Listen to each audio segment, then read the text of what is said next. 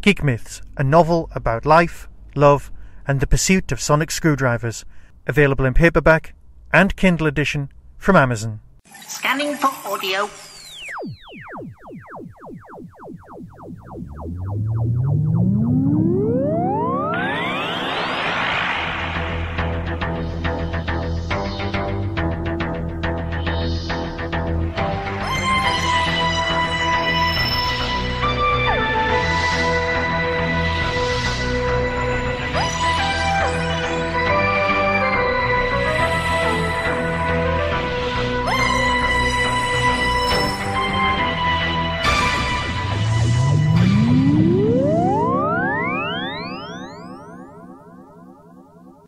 Welcome once again to another Tin Dog podcast.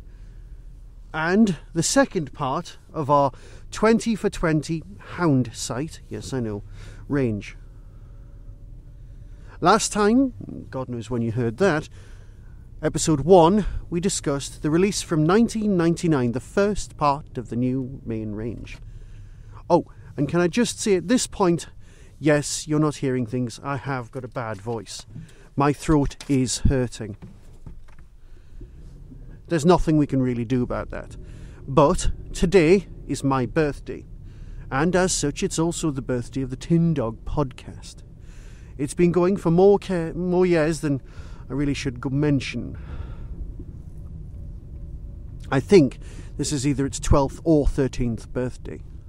Well, let's put it this way. When the first episode came out, I was in my mid 30s and now I'm rapidly heading towards 50. Not good.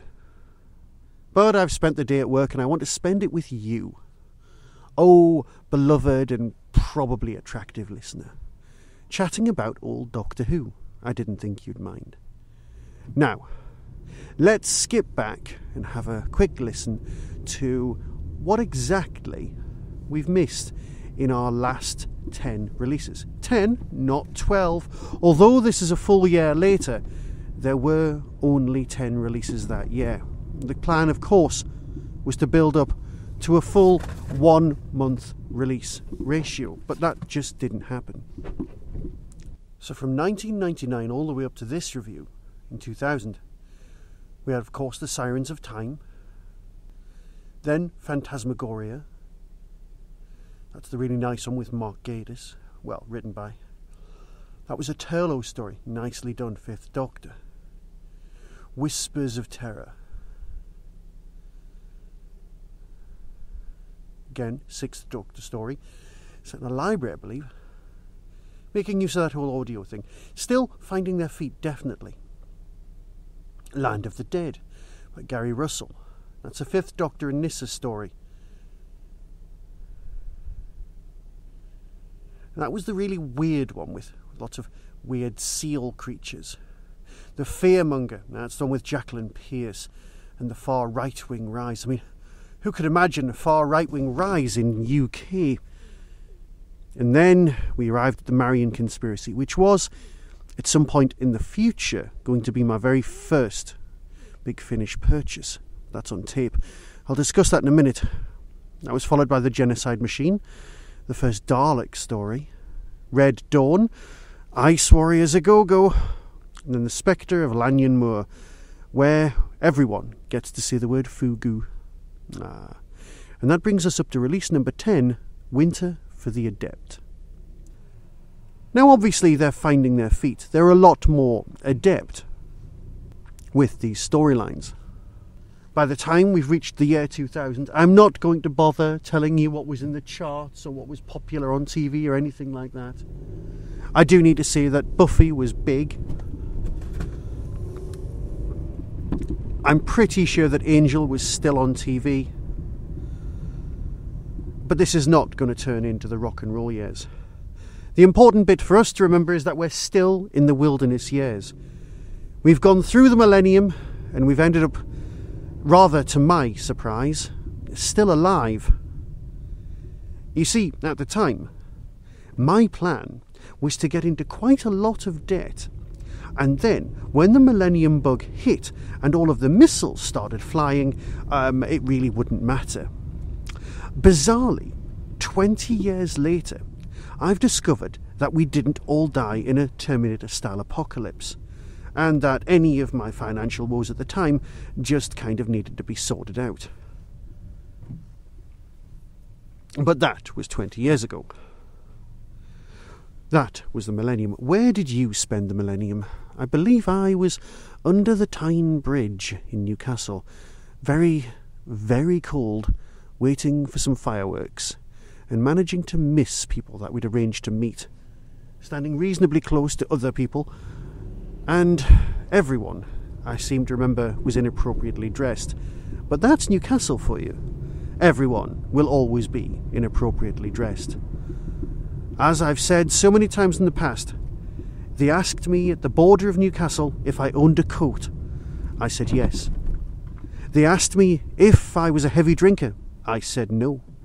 They said, Here, sir, is your passport. You may leave and move south. The deep south. Yorkshire. Yeah, it's funny the first time you hear it, but not after you've heard it 200 times. We're in the wilderness years. Doctor Who is definitely, definitely, definitely not coming back onto TV. The internet's kicking off slightly more.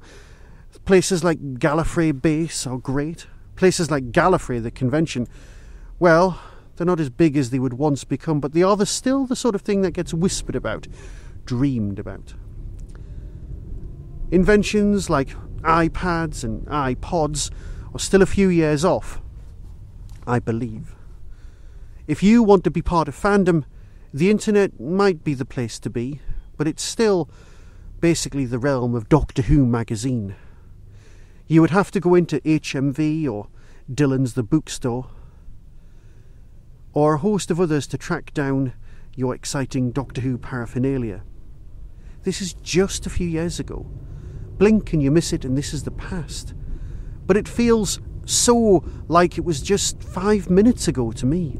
It's incredible that so much has changed in such a short time. But as someone pointed out, we're far, as far away now from Silver Nemesis as Silver Nemesis was from an unearthly child. That made me feel so tremendously old. So, this is the world that we're in. I've described it in great depth and great detail, and yet I've hardly scratched the surface. It feels very much like now. We had mobile phones, they weren't smartphones, but we could text, we could chat, we could look things up on a small basis. There was about to be a quantum leap in information, but it wasn't quite there yet. I don't know the precise dates of the invention of the MP3 or when the iPod was invented or even when podcasting came about, but it was literally round the corner. So, it's 2000, and we've already had the release of the Marian Conspiracy, which was, as I've said, destined to be my first ever Big Finish release. So, right now, I'm about to talk about a story that I didn't hear for years. Now, my best friend Andy, Mr. Andrew Richard Barber has been dead for about a decade. He was the best man at my wedding. I loved him with all of my heart. And he's no longer with us. He got leukemia, he had chemo, which destroyed, in turn, his ability to fight anything. And he became ill and better and ill and better. The leukemia went away. His immune system was also shot to hell. And one day I got a text saying I'm in hospital and I couldn't quite make it to see him. A couple of days later, I get a text saying, well, he's died. Not even a text, a phone call. From the man who would one day have been his husband if Andy had lived. Andy and I met through a mutual love of role playing games and Red Dwarf. It got to a point where we wouldn't be able to play games together in the same group because we would just spend the whole time laughing. My overriding memory of this man is one of laughter. He was the person with a disposable income, what he described himself as access to the pink pound. And he also described the people in charge of Big Finish as Doctor Who's gay mafia. He had opinions that were very firmly in the early noughties. And, as he's no longer with us, they never get to evolve or move on, and that's something I miss. I miss chatting with him about the series, and I would have loved to have known of what he would have thought these days. The reason that I bring him up at this point is that he was the person who was buying these CDs. He was the person who one day, and I'm putting my cards on the table here and being honest, allow me to borrow his discs and listen to them myself. Yes, I know one day I'd come around and I'd end up buying them and paying for them, but I was not familiar with them. And that was how I first heard ever these stories through discs that had been lent to me by Andrew Barber. So it's been quite a while since I've heard these. Yes, I've done the odd re listen time and time again, but I've never really paid attention. I've never had to do it for a podcast. So, enough background. Let's dive in to a story that, from memory, is the one with the woman out of MasterChef, the one that takes place in a bit of a haunted chalet somewhere. I remember it feeling very cold. There's a lot of wind sound effects. And that's about it. There's probably a ghost on it. There's something blue and squishy on the front of the cover. And I've looked this up. If you want to buy it, like most of the stuff I'll be reviewing here, it's £2.99. Which, given the current exchange rate and the state of the British economy, is practically nothing. So, I then go away and listen to it, and I get to experience this story almost afresh. Tell you what, before I discuss it anymore, here's the trailer. Doctor Who Winter for the Adept.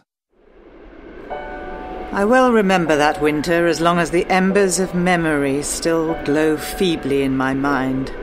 That haunted winter night when I met the man who calls himself the Doctor. Good evening.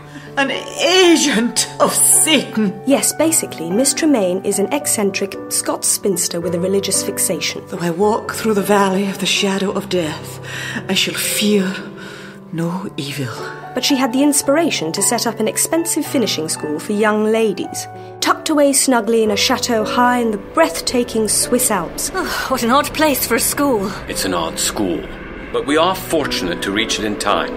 There's a bad mountain storm coming, and soon the visibility will drop to nothing. I shall fear no evil. Perhaps I can help. I doubt it. It's a very particular problem. Yes, definitely the beginning of a poltergeist manifestation. Excellent. What's that? Spirits of the dead. Is this some kind of joke? I don't believe in ghosts. Extraordinary. Did you see that? Yes. I think we should get back to Peril and Alison, Doctor. Shifted the piano across the room as if it was a toy. Ever since I was small, I could move things just by thinking about them. Thou shalt not suffer a witch to live. What are you going to do? Punish me? The time has come for purification. This is more complex than I imagined, and much more dangerous. This blade is merely an instrument, just as I am merely an instrument of the Lord's wrath. Ah!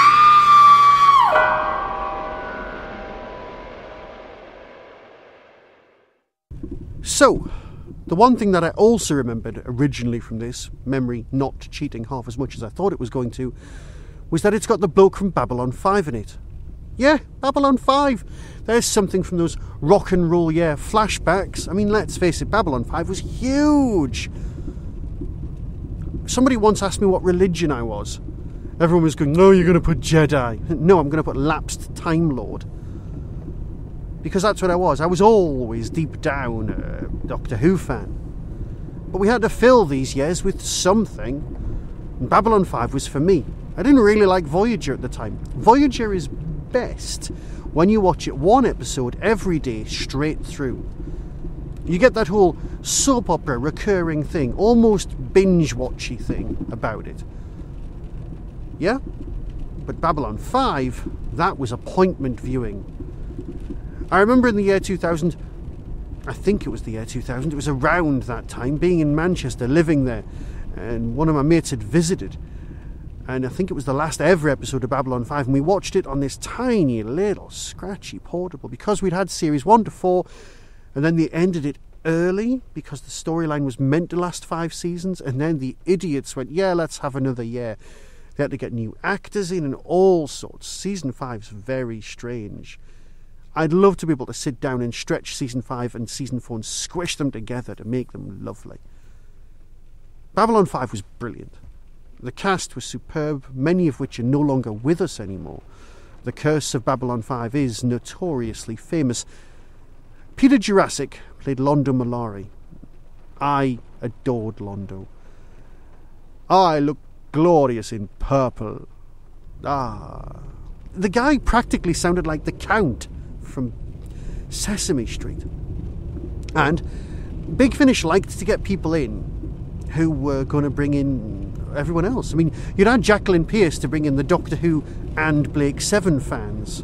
She'd been great in her story. There's always been sort of guest stars a go go. And like Maggie Stables had been in the earlier story, in this story, you get to hear, well, one of our favourites. Charlotte Pollard. She's not going to appear here. The actress who plays Charlotte Pollard, however, is here. Now, in the UK, Charlotte Pollard's actress and. Oh, right. Okay. Can I just say right now I'm driving. I can't look at my notes. I cannot remember her name. I'm beating myself up something rotten. I want to hurt myself because I can't remember her name because I love her, right? I've, I've loved Charlie, right? And uh, oh my god, I know you're shouting it back at me, but I can't hear you, can I? Right, she's in it. No, she is. And I can't remember her name. And I know I will in a minute, but that's fine. But there is something brilliant about listening to this story and hearing the lines I never cook myself, I'm a terrible cook. If you do something bad enough, somebody else will do it for you. From the voice of MasterChef. It's is beautiful. It truly is. Story, however, well, it's been written by the person who brought us Ghostlight, Andrew Cartmel. You know, the, the Cartmel master plan kind of thing. Bit confusing, bit Doctor Who. India Fisher! Aha! And you would come back to me? India Fisher, right. So, Andrew Cartmel is notorious for your convoluted Doctor Who stories. So obviously, what they're going to do is they're not going to give him a seventh Doctor story to write. Oh no, they're going to give him a fifth Doctor story to present and give to us. Dead useful, dead brilliant, right?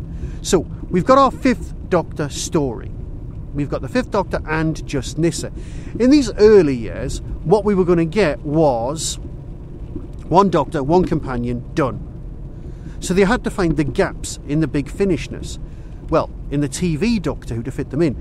These days, it's not important. We largely don't care. We're pleased when they bring back the um, Kamelion and all of that business, but to be fair, we're just grateful. We love it when they mix and match companions. But back then, we were all kind of, yes, this one fits firmly in this gap here where Tegan had left the TARDIS and before Turlough had turned up and when Adric was clearly dead and would never come back. That's what we were like. It mattered to us so much where they fitted in on TV. But remember now, there's more audio Doctor Who than TV Doctor Who. TV Doctor Who's secondary, especially to me, because I love the Big Finish stuff so much. TV Doctor Who's just kind of on. It's to help fill the gaps and make it more confusing. I liked the Moffat era mainly because it was employed in the same sort of gap filling and mystery making that I loved from Big Finish. That end of things is taking a back seat, and rightly so for modern Doctor Who. Right here, right now, in this story, though it's the year 2000, we've still got the Tom Baker theme tune. We've got reduced stings at the end of the episode. They're learning their trade quite well and it's a great story. I've got issues with it, of course I have. You've got a ghost story, which is basically, oh, there's a ghost. Now, in Doctor Who, you've got to have a scientific reason behind ghosts. You've also got aliens with a stupid name, the Spillagers, half spilling into somewhere, half pillagers. It's not good. I don't like them. They should have had a better name. They should have had a name for themselves. Or even corrected the doctor and saying, Why are you calling us that? We're actually called the. The, the Vitrari or something. I don't know. I don't even know where that name came from. That's fine. So, you've got an underlying alien threat. You've got the uh, mystery over a very small cast, over who actually is in charge of uh, the events that's going on. You've got a spurious, mm, dodgy woman running the chalet. Yes, it's a ghost story, but everything's really white. Everything's very cold. Nyssa stood in the snow. Uh, she can ski, but she can't. Peter Jurasik is playing when I'm listening, because, yeah, you know, people can play on audio any age. Let's face it, Sophie Aldred's slightly older than me, but she's playing 16 on audio, and we will perfectly let that slide. And you were willing to let Peter Jurasik's character, someone who'd be in his 50s, let's call it that, playing somebody younger. I mean, it's audio, so I'm thinking, yeah, he's in his 20s ish. We'll do that. And he's having a relationship with a te- with a, one of the students. But then there's a line going, You're old enough to be her father. And if they'd got rid of that line, then it would have been more acceptable, but it's not, it's still there.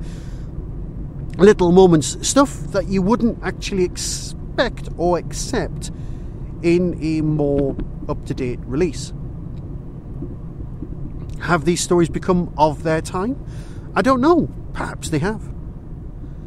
I don't mind that at all. I mean, they are examples, perfectly good and perfectly reasonable examples of things of their time. Uh, is it a good story? Yes. It's not the best story in the world. I would probably have gone for the Jacqueline Pearce release if I was going to recommend one from this year. But that's only because I'm going from things that are in my mind. It's not that I've gone back and listened to them all. God help me, if I'd gone back and listened to them all, I really would have shared that with you, but I can't. I've got some other things on. I should be finishing a short story that I've promised to Steve. I should be working on a short story that I've promised to Steve Hatcher. And as for Jane of the Air Volume 2, well, least said, soonest mended on that one. If nobody wants to buy Volume 1, I really should be considering cutting my losses. Anyway, apart from that, and the fact that you end up in quite a convoluted scenario, cracking story. Of course, I've got out my gripes. My main gripe is the beginning and the end. It suffers from, how can I put this, Radio 4's disease, where you've got narrative. You've got someone flicking through the old pages of their diary, a bit of a flashback thing going on flashbacks in Doctor Who, somebody describing it and setting the scene, book ending. That's the words I was looking for. There's no need for that. It's show, don't tell. Mm, I know. Luckily, we don't get it very often. At least that's what I thought. But then I heard this, then I heard Missy. Episode 1 of Missy is bookended in exactly the same way. So perhaps we still don't get this in Doctor Who, but we still get it in Big Finish because it is, well, the audio medium and it's a tried and tested way of telling us stories. Yes, I genuinely appreciate this story. I love the fact that they were hiring people from Babylon 5. That made me very happy. It's a shame you couldn't get Stephen Furst at some point, but you can't have everything. Or perhaps they did, and I just didn't spot it. I love this story, yes. Have I gone back and listened to it lots of times? No. But I'll tell you what, it's definitely worth shelling out cash, especially if you're listening to modern new Big Finish, because it's just as good. And it doesn't cost you 15 quid. It costs you 3. So yes, it's a base under siege. It's got a fairly basic story arc, but there's a very nice spiritual side of things. And you know what? As the person who wrote Blue Box Messiah, it's nice to have a bit of ghostiness, a bit of religious nuttery going on. It makes me happy. So, I'll say farewell and let you decide for yourself whether you want to listen to it or not.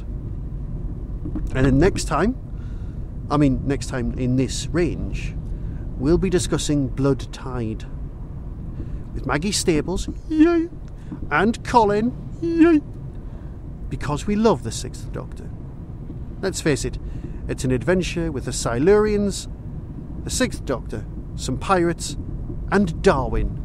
What's not to like? So until next time, be seeing you. That was the Doctor Who Tin Dog podcast, available on iTunes, YouTube, Twitter, RSS, Vimeo, and across the internet. Doctor Who and its associated properties are all copyright and trademark of the BBC. No infringement is intended. Why not become a supporter by visiting patreon.com slash tindog. Contact the show on tin-dog at hotmail.co.uk.